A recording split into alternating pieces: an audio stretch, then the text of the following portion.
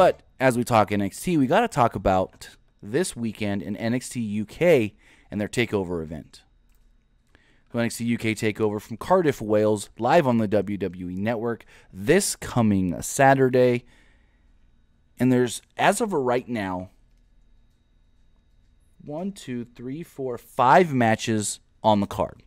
Officially announced. Three title matches, two non title matches, and a possible sixth match, but I don't think they should add the sixth match. Maybe they can do like a quick brawl thing. So Cesaro on Tuesday, well, technically it was Monday night when they filmed it, but they put it out Tuesday. They stated that Cesaro's going to NXT TakeOver in Cardiff. He also teased that he could get physical on that show. And Pete Dunne responded to his tweet and just said, All right, mate. So I don't know if something's going to go down between Cesaro and Pete Dunne, or if that was just Pete Dunne just saying whatever because he wanted to be cool. So that's a possible match. Also, we do have two non title matches. For some reason, I couldn't find my graphics for those, so bear with me. We have Noam Dar taking on Travis Banks. Both guys have been getting decent pushes in NXT UK. Noam Dar a little better than Travis Banks. So I honestly think that in this match, they're going to put Noam Dar over Travis Banks. As we go forward, we do have a, a last man standing match where we will see Joe Coffey taking on uh, Dave Mastiff. And this is just the battle of the big men. The big guys are just going to go out there. They're going to brawl. They're going to beat the crap out of each other. And it's a pick 'em. It really is. I mean, if I had to pick one, I'd probably go with Joe Coffey just because I guess they've done more with him. So I just see him going over in this match. Really, again, like I said, it's a pick 'em. It can go either way. But going forward, we do have a triple threat for the NXT UK Tag Team Championships. The tag team champions, the grizzled young veterans, Zach Gibson and James Drake, will be defending against the team of Gallus, Wolfgang, and Mark Coffey, as well as Flash Morgan Webster and Mark Andrews. And I think they should keep the titles on the champions, keep the championships with the Grizzled Young Vets. I think they've done a great job so far as the tag team champions are in NXT UK. Maybe let them hold them till whenever the next NXT UK is going to be. If we if we go off the timeline between the first and this one, six months or so, seven months. So maybe at the end of the year they do another one. Maybe in January they do another one, and that's when they can lose the titles. So I think Grizzled Young Vets keep the titles. As we go forward, the NXT UK Women's Championship is on the line when Toni Storm defends against Kay Lee Ray. Now, a lot of people don't really know Kay Lee Ray that well. She's really good talent, but I just don't see her going over Toni Storm. Toni Storm is really, really putting this uh, match over in interviews, saying that this is the biggest match of her career, which I digress.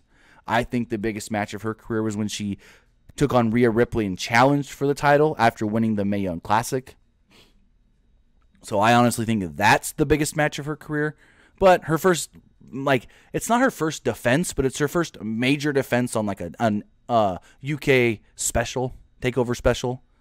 So I think this could be a solid match. But Toni Storm, of course, retains. And then in the main event, in a match that if you if you did not see their match at, a, at Hello Wembley for Progress, go watch it before Saturday. Walter will be defending the WWE United Kingdom Championship against Tyler Bate. Yeah, I don't know why they haven't changed the name of the belt either. But this match is literally David versus Goliath, but in the best possible way. Because if if you did not, like I said, see their match from Progress, Hello Wembley, you're in for a surprise because that match was just amazing. Tyler Bate is one of the greatest wrestlers right now that's not being utilized to his best of abilities. Walter, everyone knows what Walter can do. Walter can go out there and just kill anybody. And with their their two different styles that these guys have, it actually works together perfectly. And if I had to predict, this is going to be a hard one.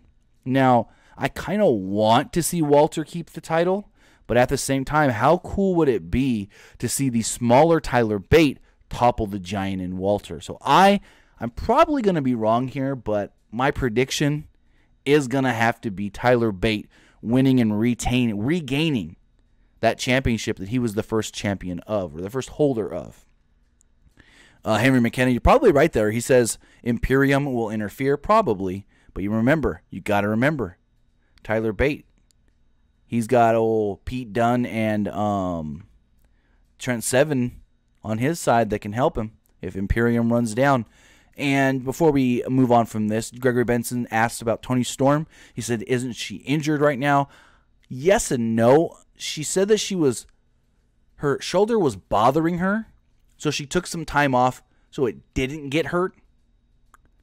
I don't know if it was a flu, full blown injury or that she just knew that it wasn't 100%. And so she took a couple weeks off. She didn't do any, you know, indie shows or anything. So that way she didn't hurt herself going into this match where others in other companies, I'm not going to, I'm just going to say it, weren't really as smart. But with that, those are my predictions for this Saturday's NXT UK Takeover Cardiff from Cardiff, Wales. Again, this will air on the WWE Network. I want to say uh, like 3:30 Eastern, maybe here in the United States.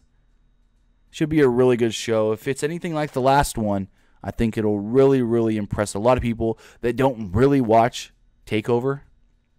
And hey, don't worry about having to choose because, yeah, a lot's the same night, but they're not on at the same time.